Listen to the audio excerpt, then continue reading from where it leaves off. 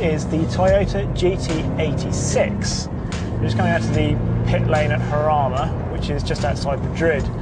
Um, used to Formula One races here, and it's a fantastic circuit. I've never been here before. Um, last race was in 1981, won by Gilles Villeneuve, which is probably quite appropriate for the car that we've got here. Um, doesn't look like it's been used since 1981, um, 30 years ago, but it has a certain charm. So let's get the basics of the GT86 out of the way. Um, four cylinder, naturally aspirated, and it's kicking out 197 brake horsepower and 152 pounds foot of torque. So not a great deal, but the important thing is that it weighs just 1200 kilos. As we're on a circuit, it's obviously quite tricky to tell what the steering feel is going to be like. The steering's quite light, um, but it's direct and it's quite quick as well, which is useful as you'll see in a minute. This car, for some people, is all about the big skids, going sideways in it because it's rear wheel drive. And whilst that's great, the nice thing to know is that it's not just about big skids. You can drive around the circuit, and from the moment you get in it, from the sighting laps, you can just feel there's there's movement. There's a really nice lightness about the way it goes about its business. The whole car has a certain lightness to the way you drive it. Gear shift, you want to be quite sort of quite precise. It doesn't like being rushed particularly, but if you just guide it around the box, it's a really sweet shift. You press VSC Sport, then you've got well Sport mode, which gives you a bit more slip, but you hold down the off thing, first traction control goes off, and then you hold down five seconds, and the whole lot goes off. And the nice thing about that is that you should be able to do skids.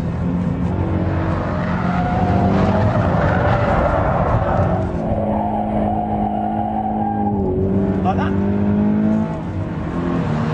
It's a really nice car to learn about dynamics and rear wheel drive dynamics in because, said before, it's light, so it's not just about the rear. You've got to work the rear.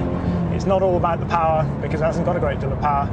So you can't just bung it into a corner and stamp on the throttle because that's not really how it works. You've got to feed it in. So you've got to work the front end into a corner, give little lifts on the throttle to get it to work, get the front hooked in, and then you can use the power and squeeze it on and use that all the way through the corner.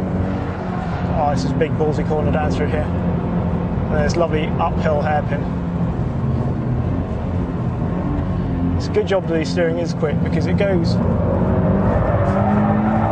quite quickly when it does. The Toyota is going to cost £25,000 when it comes to the UK, or a fiver there under. And so that doesn't make it a bargain, it does make an awful lot of fun for the money.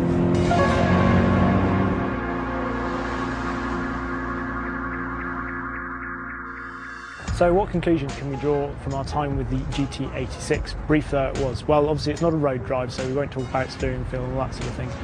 But it's a huge amount of fun. It's a smaller car than I was expecting, but for £25,000, it'll teach you an awful lot about chassis dynamics in a rear wheel drive car. And yeah, I love it. It's really, really good fun.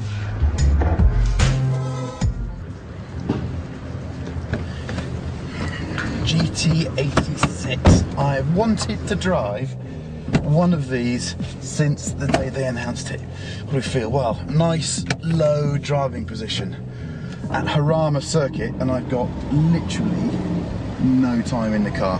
Half an hour. So, let's have a little think. What are my initial impressions in this car? I do like the driving position. Wish the wheel came a little bit closer towards me. Gear shift, short, positive. Yeah, liking that.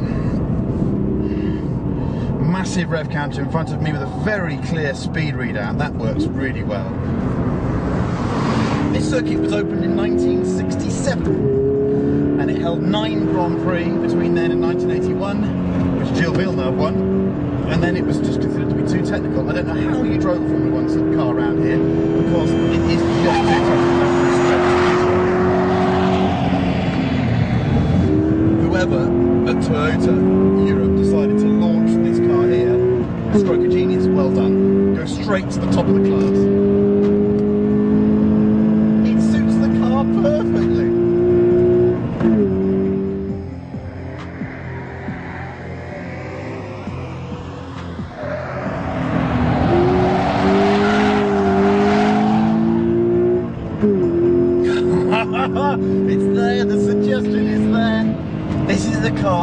Waiting for. This is the affordable rear wheel drive car. Not a 911, not a Ferrari, not a Maserati, not a BMW M car. It's a Toyota. It's going to be well under 30 grand.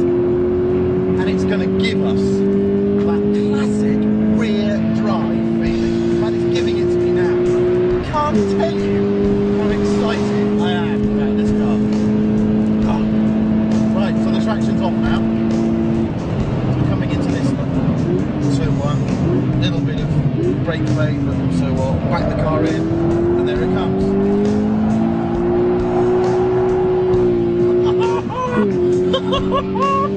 yes! Yes, yes, yes!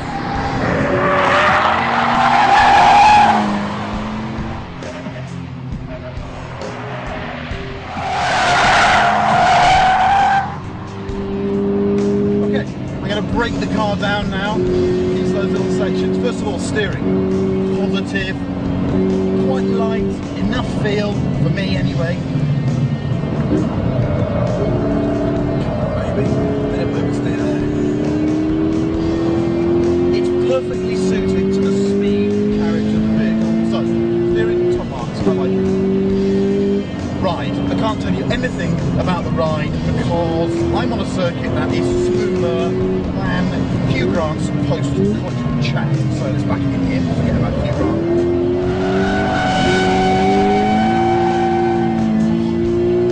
This is. We've wanted this car for so long, but back to the stuff we've got to talk about. Brakes. I'm running out of brakes, but this is not a circuit car, so I'll live with the brake. Brake pedal is nice, feels good engine. This is interesting. To me, it doesn't actually show any outward signs of being a flat four-cylinder, a boxer, you know, the Subaru-based engine. Um, revs nicely. I like the fact that it's normally aspirated. You've really got to get it going above about five and a half to get its best. Then it does go nicely up to about seven and a half. Noise, not especially inspiring. So for me, probably the most disappointing aspect so far is the noise. Every time one, every time the noise disappoints you, you can just do that.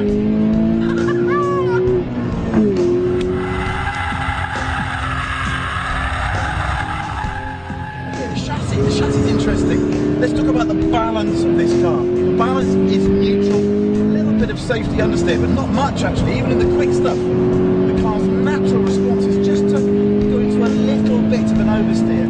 That, in, chassis engineering terms, is very gutsy,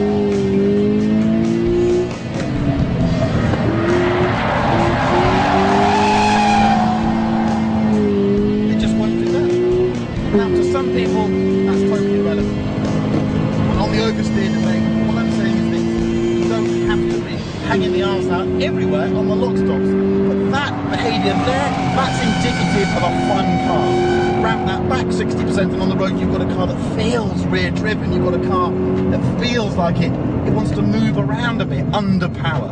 And that's something that surely all drivers love.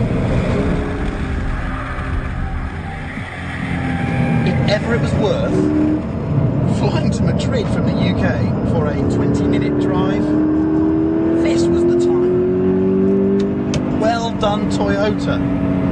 I think we're going to be friends, me and the GT86.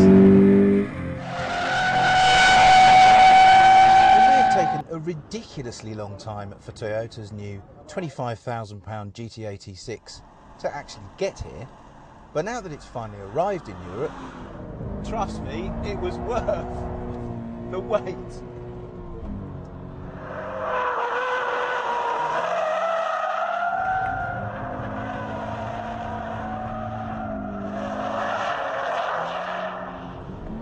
You know, I think this might actually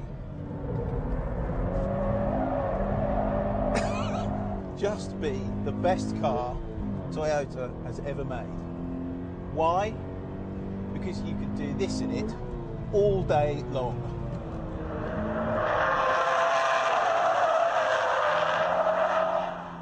So before we get completely carried away here, what's the new GT86 really about? In simple terms, it's a rear drive 1200 kilogram coupe that's been designed to lure young, enthusiastic, reasonably affluent buyers back into Toyota's showrooms. And maybe the best news is it goes on sale in June for 24995 and when you do this it turns the traction control off completely which allows you to do this.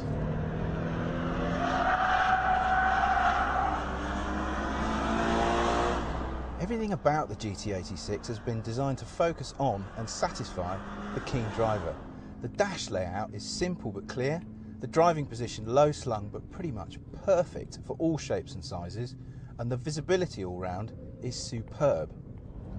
As you may know, the GT86 is actually a joint venture with Subaru, their version being the BRZ, which is a car that will drive very soon. But what does that mean for this car? Well, it means you get a a Boxer four cylinder engine up front, exactly the same as you get in the Subaru.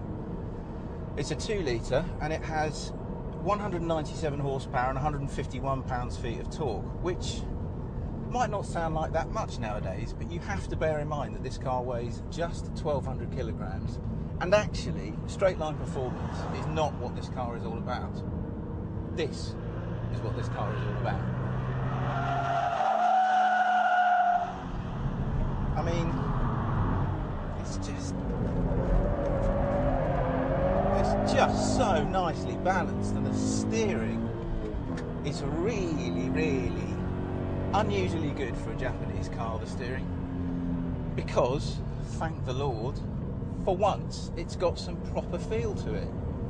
It's very accurate, it's very precise, as you'd expect, but there's actually a bit of slightly old school 911E 968 Club Sport style bubbly feely stuff coming through the rim here and that's lovely that's very unusual nowadays in that respect the GT86 really is a car from yesteryear and good on it for being so